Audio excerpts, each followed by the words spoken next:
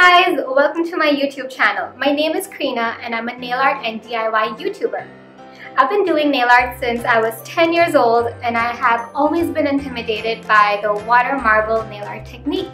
I've tried it a million times and each and every single time I've created a huge mess and wasted so much nail polish. So recently I found this hack which helps me achieve a similar look and it avoids creating the entire mess while doing this nail art. If you're new to nail art, you're definitely gonna fall in love with this tutorial. So without wasting your time, let's get started.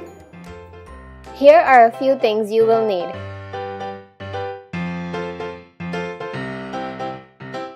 Place a drop of nail polish in the center of the container filled with room temperature water and keep alternating the colors.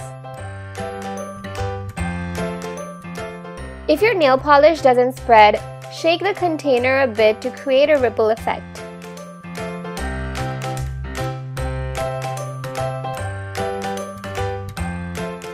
Now take a needle and lightly drag the nail polish to the center and dip the needle in the water for a clean finish.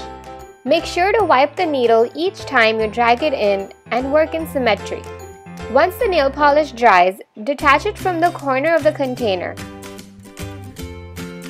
Remove it from the water and let it dry on a tissue paper.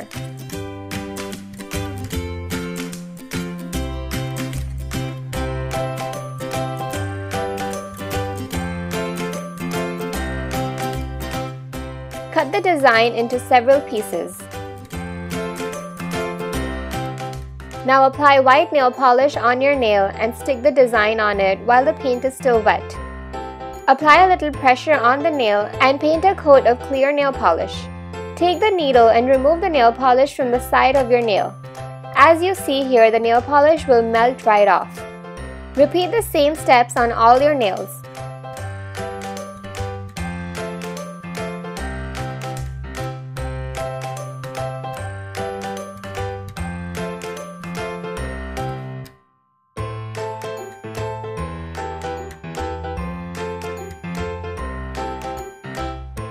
Now dip a brush in some nail polish remover and wipe away all the mistakes.